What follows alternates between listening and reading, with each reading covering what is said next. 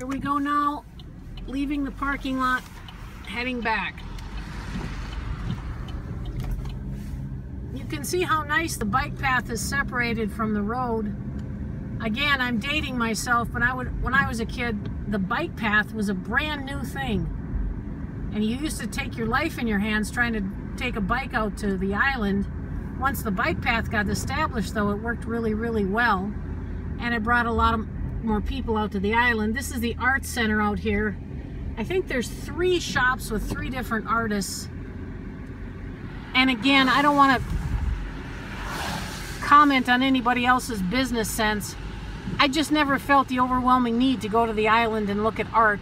But I'm sure there are people who come here looking for beautiful things and when they get to an art place they think the two go together. I always thought the island was beautiful enough without art shops.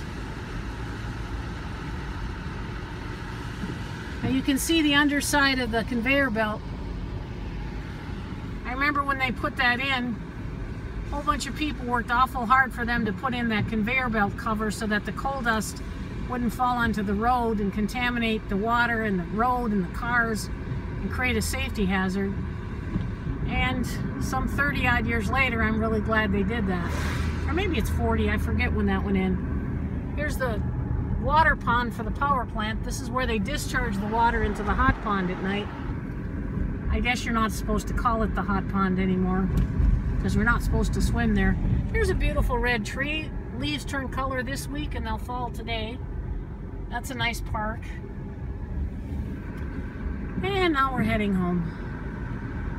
I may have misspoke. That may not be the hot pond. I think they took the water in cold from Lake Superior and then discharge it at another location where it was heated from the steam inside the power plant. But again, you're not supposed to swim in either place, so that's the bottom line. And anybody watching this, you certainly can feel the rain on yourself while you're watching it. It's cold, it's damp. It is a very typical fall day, 49 degrees at noon. I don't think we'll see 50. And then tonight I suspect it's going to be awful cold again. This is the Holly Greer bike path. She was the city commissioner who pushed for it. And I think everybody agrees it's a great idea. Over in the distance, now on the right, you can see what's left of the old Cliffs Dow property. As I said, they gave most of it to the city for a dollar. The city's trying to figure out what to do with contaminated soil. Good luck with that. You can also see there's a jogger on the bike path. And this is an area where you go in with compost, which is very useful for local people to have a place to dump compost. And that's one of the few things you can do with contaminated soil is put compost on top of it. And over there is the Superior Dome, largest wooden dome in the world. I guess it beats a dam, a dome in Japan by one square foot or something. I don't know, I'm not an architect.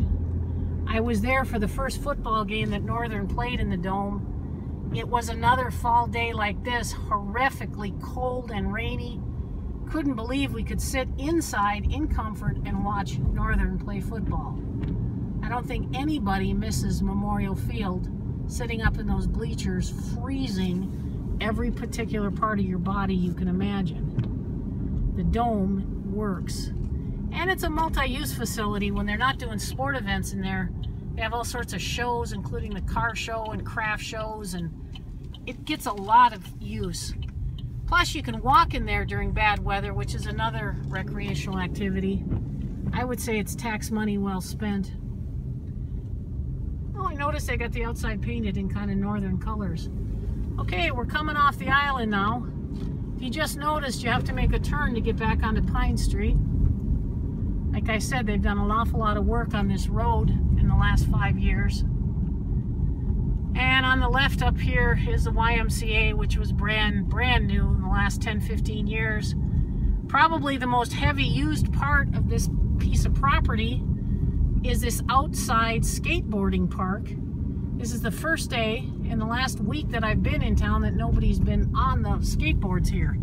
every other time I've been here, there's been people using it. So we're off the island. We're at the corner of Pine and Fair. Take it easy.